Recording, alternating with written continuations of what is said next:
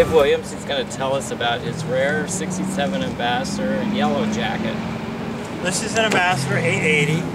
Ambassador was the, the best model they made, and 880 is the lowest trim level available that year. It's, um, it was actually a special edition Yellow Jacket. They made a hundred of these. They drove to the racetrack, took a picture, and had a dealer drive away in the spring of 68. And this is actually a 68 color, which they didn't offer until six months later. And it's a three on the tree, which is unusual, and uh, overdrive, and uh, power steering, and eight track. Dealer installed eight track, one of the first eight tracks. Yeah. V8.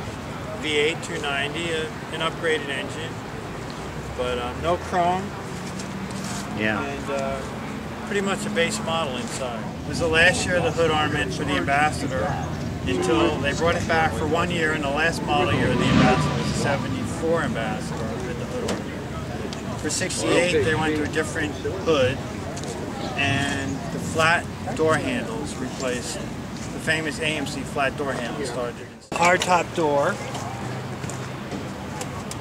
of the uh, 990 models, and they welded in a, a pillar here and painted that for the slim B pillar look. And uh, the red carpet ride of the Ambassador, 1967.